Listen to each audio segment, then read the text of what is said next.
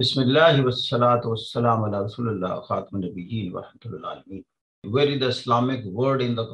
Nations अकवाम आलम में इस्लाम की क्या हैसियत है, मकाम है, ये कहाँ है?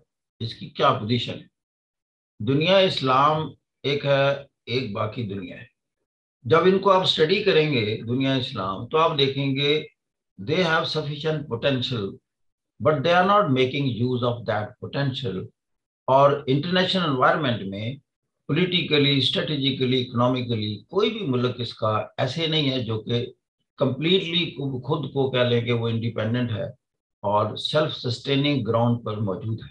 यानी they are dependent on the West particularly the countries which are economically financially scientifically more advanced they are dependent on them जैसे सऊदी अरेबिया इस्लामिक वर्ल्ड का वो मुल्क है जो कि फॉसिल फ्यूल के रिज़र्व के हिसाब से और अवेलेबिलिटी के हिसाब से वो दुनिया का सबसे बड़ा मुल्क है। उसके पास जितने फॉसिल फ्यूल्स मौजूद हैं पर्टिकुलरली पेट्रोलियम लेकिन असले के लिए वो यूनाइटेड स्टेट्स पर डिपेंडेंट है। इतना डिपेंडेंट है कि उसको यूनाइटेड स्टेट थ्रेट कर देता है कि अगर मैं चाहूँ तो आप एक हफ़्ता भी ज़िंदा ना रह सकें। साइंस टेक्नोलॉजी में वो उन ममालक में शुमार है जो कि दुनिया के पसमानदा तरीन ममालक है। अब बताएँ, ये तो यूँ लगता है कि जैसे इस्लामिक वर्ल्ड जो है, शायद इस्लाम ने इनको ये पहला दर्श ये दिया है कि आप साइंस टेक्नोलॉजी को हाथ ना लगाइएगा, ये कोई गैर इस्लामी चीज़ है। सतवंजा इस्लामी मुल्क हैं, मुझे बताएँ, टेक्नोलॉजी में वेस्ट के अटपार कोई भी है, या जो हमेशा हम कहते हैं क्वालिटी ऑफ़ एजुकेशन के हवाले से दुनिया की टॉप हंड्रेड यूनिवर्सिटीज में कोई ऐसी यूनिवर्सिटी जो कि इंटरनेशनल रैंकिंग के मुकाब, मुकाबला कर सके। जैसे मैं कहता हूँ कि जो इस्लामिक वर्ल्ड है they are twenty five percent of the total globe अब देखें ये मैं बता रहा हूँ कि किसी चीज़ का इंट्रोडक्शन कैसे बनाते हैं। ये उसकी इंपॉर्टेंस बता रही होती है इंट्रोडक्शन में। अब देखें मैंने किस किस एंगल से टच कर रहा हूँ।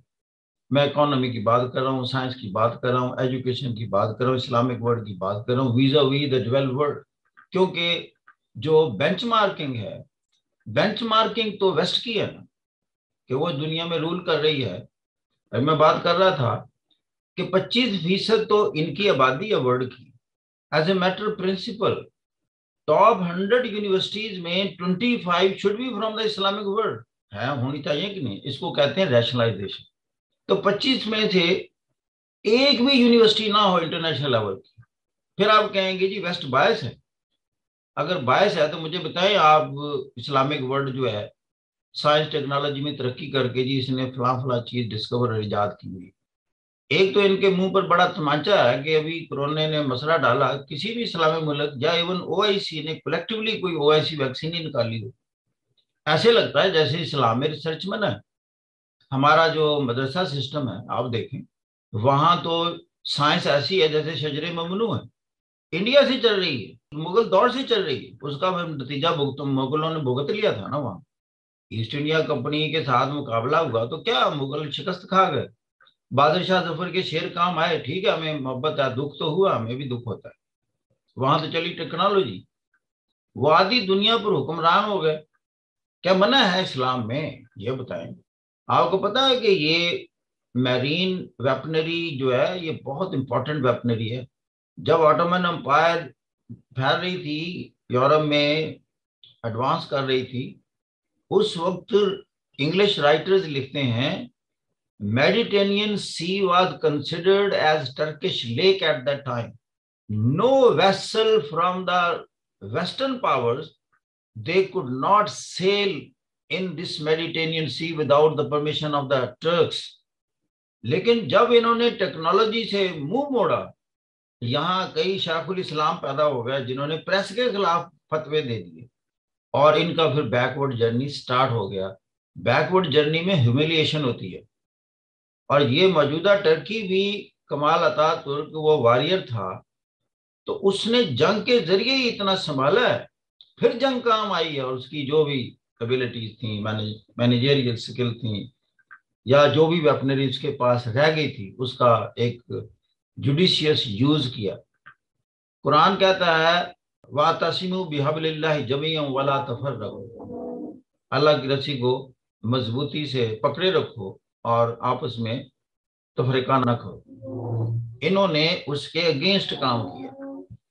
जैसे अक्सर लोग कहते हैं कि हजूर सल्लल्लाहु के दौर में ना कोई हम्बली था, ना शाफी था, ना फिका जावरिया से किसी का तल्लक था, ना मालकी था। जी। इसलिए कि जो अल्लाह कहता है, मेरी जो बुनियादी बातें हैं, जो बुनियाद है इस्लाम की, वो तो कॉमन है सब में। बाकी चीज़ों की तो वैल्यू खत्म हो जाती है। कदरे मुश्तरक क्या है इस्लाम की? तमाम फिरकों में। भी जितने मैंने गिने हैं। कॉमनैलिटी कुरान मजीद है। और कुरान मजीद में जो कदर मुश्तर क्या या फोकस, जैसे मैं कहता हूँ, हर एक किताब का तस्वर याद का फोकस होता है। वो फोकस होता है किसी के हकूक गसब नहीं करना और अल्लाह की खुशनुदी के लिए माल को तकसीम करना है। ये है फोकस। जहाँ पकड़े जाना है आखिरत में, वो इसी पर पकड़े जाना है किसी का आपने माल हथियाया है। यही मुश्किल काम है। और नंबर दो अल्लाह ने पूछना है, मेरे रस्ते में सबसे ज़्यादा दुनिया में तकसीम करके कौन है? ये सारे अपने गिरेबानों में झाँक ले जितने मैंने फिर नाम लिए हैं। सारा दिन किस पर बहस है? इनकी है इस पर बहस या मुकाबला इस पर है कि मैं, मैंने आपसे ज़्यादा अल्लाह के रस्ते में तकसीम किया कोई दूसरा कहे, हम हम करते हैं ज़्यादा अल्लाह के रस्ते में। या, हमारे फिरके में से कोई निकालो, किसी ने आपका कसब किया हो, बहन का, बेटी का हमसाय का, या कारोबार में डंडी मारी हो, या झूठ बोलकर पैसा कमाया हो और इस्लाम क्या है? जब वेस्ट में जाए तो ये सारी चीज़ें मिल जाती हैं। हजूर वसल्लम पर ईमान हो, कुरान पर ईमान हो, बस, बात खत्म। और असल यही देखना है कि रोज़ाना शाम को ये देखो, मैंने आज किसी से झूठ बोलकर अपना फ़ायदा तो नहीं किया। ये है रूह इस्लाम। या मैंने नफ्स के ताबे होकर बहन, बेटी, बीवी का कोई हक गसब तो नहीं किया? ऐसे भी है जो कहते हैं, जी सियासत में होती हैं बातें ऊंच नीच होती है, ये को हदीस है? हजूर वसल्लम ने नहीं सियासत की थी। हजूर वसल्लम पॉलिटिक्स में नहीं थे। वो तो इनके बाप भी नहीं सोच सकते, जहाँ वो थे।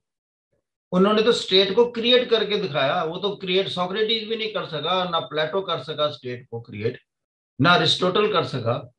स्टेट को क्रिएट करके दिखाया। छोटी स्टेट नहीं है, मौजूदा दौर की दस स्टेट्स हैं। इस वक्त अरेबियन पेनसुला की जरा स्टेट्स काउंट करें। ये सारी हजूर सल्लम के दौर में एक स्टेट बन चुकी थी। यमन भी हजूर के अंडर था। यमन एक सूबा था। यमन का गवर्नर हजूर मुकर फरमाते थे। रियासत मदीना से शुरू हुई, मदीना स्टेट ऑफ़ मदीना। फिर वो एक्सपैंड होती गई होती गई। अरेबियन पेनसुला पर चलेगी सारी की सारी। आपका ख्याल है पॉलिटिक्स नहीं थी उसमें। और बताएँ कभी झूठ का कोई शायबा तक नहीं। कोवनेंट्स होते थे मादे होते थे, वो पूरे करते थे। सलाहबिया रिकॉर्ड का मायदा है। किसने तोड़ा? कुफार ने तोड़ा। उसके बाद जंग की। लेकिन जब तक नहीं तोड़ा ढाई साल, पूरा उस पर अमल रहे। This is politics I mean the examples forwarded by the prophet सल्लल्लाहु कुफार के साथ है। पूरे अमल थे उस पर। कि नहीं, इनके किसी ऐसे कबीले पर अटैक नहीं करेंगे, जो कि काफर कबीला है। माहे में लिखा हुआ है कि हम नहीं अटैक करेंगे, नहीं करेंगे, नहीं किया। और ना ही ये कोई ऐसे कबीले से अटैक करेंगे जिसका इलाक हमारे साथ इन्होंने ढाई साल बाद कर दिया और उनके पच्चीस बंदे मार दिए। वो रोते हुए गए प्रॉफिट वसल्लम के पास। अब देखिए पॉलिटिक्स का अंदाज, हजूर का भी क्या मिसाल थी। कि जी हमारे पच्चीस बंदे मार दिए और हमारा इलाक आपसे है। तो हम तो बदला नहीं ले सकते। They are very strong in fights मक्का हजूर वसल्लम का आप लेवल देखें। अंदाज है, सियासत देखें पॉलिटिक्स ये भी तो पॉलिटिक्स हो रही है ना आजकल। मॉडल तो हजूर को बनाना है हर जगह। उसवा हसना अल्लाह ने कहा, एक बेहतरीन तर्ज हयात कहा जो आपने दिया। एक अल्लाह के एक और अल्फाज है जिसका तर्जमा नबी आपकी ज़िंदगी संवारता है। नबी के पास जाओ तो सही। तीन शरायत आयद करते हैं, ये नहीं उठो और जनाब जाकर हल्ला बोल दो। आपने शराय क्या दी? कि देखें, अरबी कवानीन के मुताबिक ये 25 का खून बहा अदा करो। एक बात, या फिर आप जो इनको इस कबीले को अपनी प्रोटेक्शन में लिया हुआ है, जिसने हमला किया हमारे कबीले पर, उससे आप हाथ उठा लो प्रोटेक्शन का। फिर हम जाने तो वो कबीला जाने जिसने हमारे इलाक शुदा कबीले पर अटैक किया था। अगर ये भी नहीं करते तो फिर कह दो कि माहा टूट गया। फिर हम जाने और आप जाने। और कुफार मक्का और कुरैश मक्का इतने जोम में थे, उन्होंने कहा, जी मादा टूट गया। That was the start of फतेह मक्का फिर हजूर वसल्लम ने फरमाया, अब जितने मुसलमान मौजूद हैं, चलो निकलो। अब कोई हल नहीं है, सिवाय ये कि हम इंतकाम लें उन पच्चीस बंदों का। फिर जब आप हजूर उन लोगों को लेकर साथ चले तो they were ten thousand in number truce of Hudaybiyyah के वक्त जो उम्र करने आपके कंपेनियन थे, वो चौदह सौ थे। ढाई साल में सच की तबलीग की वजह से उनकी तादाद दस हज़ार हो गई। और जब दस हज़ार मक्के के करीब पहाड़ियों पर रात को बैठ गए आकर वो रोशनियाँ देखकर ही जो दुश्मन था, वो सरेंडर कर गया। और अबू सुफियान ने तो इस्लाम ही कबूल कर लिया।